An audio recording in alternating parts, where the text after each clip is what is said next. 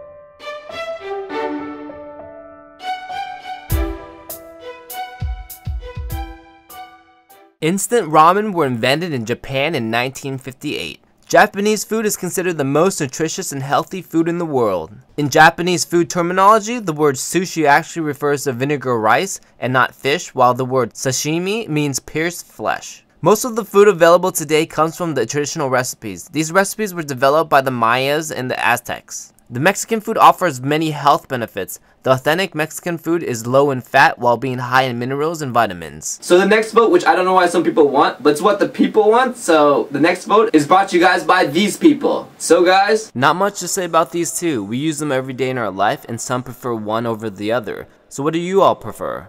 Click thumbs up if you choose liquid soap. Click thumbs down if you choose bar soap. Do do do do do do do do do, do, do, do. I love your little animation below. Side votes over there, so see if any interest you. I host a game show below, so if any guys are interested, click down below. We also do giveaways from 30 to $60 every week, so check it out. Subscribe for future votes. Follow me on Facebook, Twitter, and Google+.